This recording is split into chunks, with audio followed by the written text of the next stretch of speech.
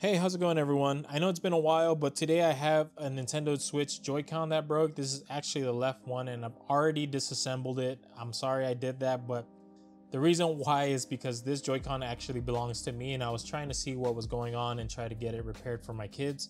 Um, I did lend them my OLED Switch and they dropped it and broke the left bumper.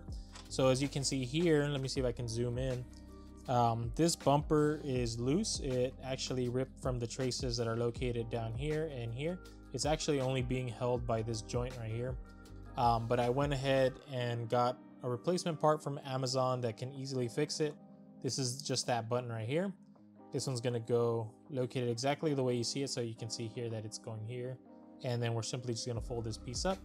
I did go ahead and open it up already and I just simply remove this and the battery. It's pretty easy to do so. I do have another video that showcases how to exactly go through those steps. But for mine, I already opened it up like I mentioned, and we're just gonna go through the final steps and replace this little ribbon cable and get it repaired. The only thing that we're gonna need here at this point is to simply, um, let me go ahead and get a spudger. We're gonna need to remove this ribbon right here. So you have this little latch and we're just to simply flip this up and that should free it up. There we go. Once that's removed, then we can go ahead and just um, get that out of the way. The next step is to remove these three screws. Now these are being held down by double zero Phillips screws. So I have a double zero bit here and we're just simply to go ahead and remove these. And these are the ones that hold down that button.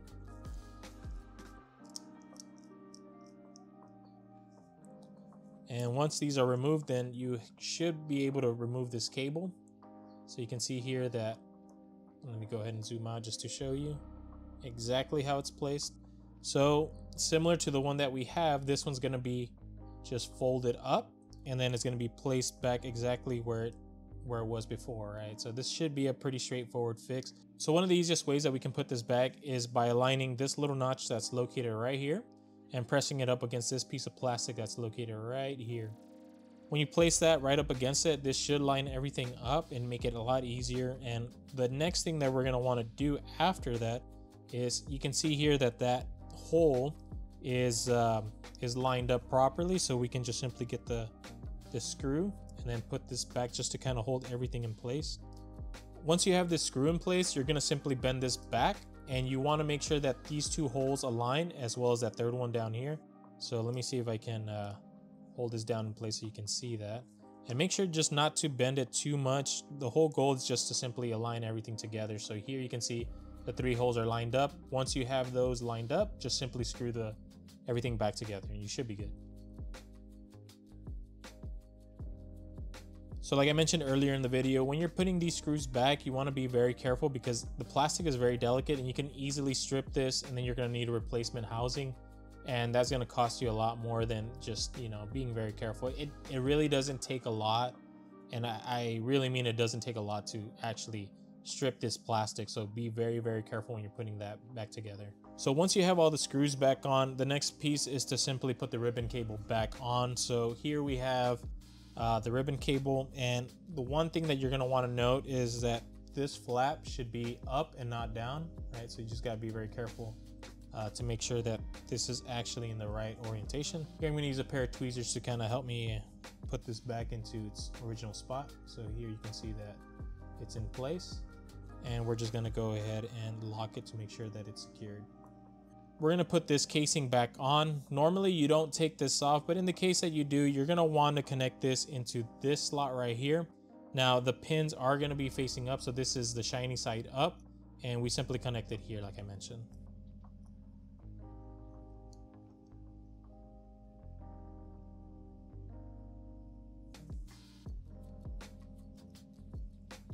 So one thing I want to point out is that this housing, when you're putting it back, you can actually run into issues with this ribbon cable if you don't tuck it in properly. So here, when I'm rotating it, sometimes this piece of ribbon, as you can see here, can get caught on the outside of the plastic. You just want to make sure that it's uh, going inside this groove and not sitting on the outside. So that way you can prevent any uh, potential issues in damaging that cable. So now that everything's back together, I'm gonna go ahead and test this L button really quick and see if everything feels fine and it does before I go ahead and screw this in because otherwise you have to remove everything and start over, right? So we want to avoid that. So now that everything is good, we're to go ahead and put these two screws in and we should be done once we put the battery back on.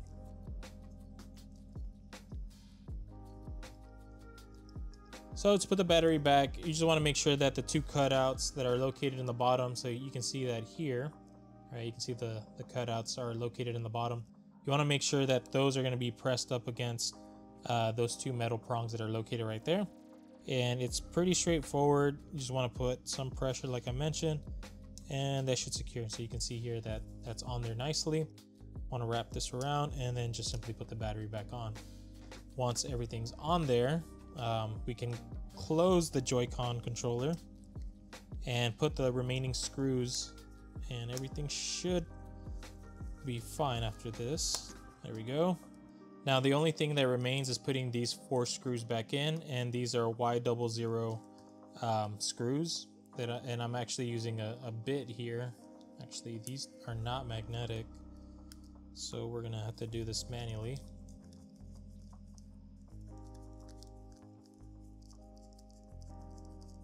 So now that everything's assembled, let's go ahead and test it out and see if everything is working. So here we have the L Joy-Con. This is the one that was broken. So let's test that L button and everything seems to be working again. So like I said, that was an easy fix. Let's test the rest of these buttons and might as well test the right ones and see if everything's good.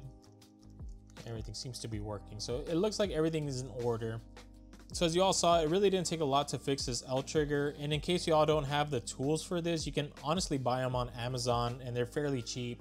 Um, just look for tools that open up the Nintendo Switch and they should be somewhere between three to five dollars I want to say. So another thing that I want to mention is a huge shout out to all my subscribers. We hit a thousand subscribers and it was honestly one of the happiest moments of my life. I know it was a huge milestone for me. I didn't really think that anyone would be interested in this stuff. I just kind of did it um, as a hobby, just as a enjoyment. I did get motivated by some of the folks that are out there definitely people like Northridge Fix and Tronic Fix. Um, they're huge motivators that got me into this, and I really enjoy and I love the problem solving aspect of this hobby. So, once again, I want to thank everyone that's been out there that supports this channel. Thank you. I hope to continue to provide more entertaining content. I'll try to get better as time goes. I'm still pretty new to YouTube, believe it or not. I know it's only been a year, but I'm trying to make things better and I'm trying to learn software and get uh, new hardware as we go. So once again, thank you all for watching. And if you are new to this channel, please be sure to hit that subscribe. And if you like today's content, please be sure to hit that like button. I'll catch you all next time.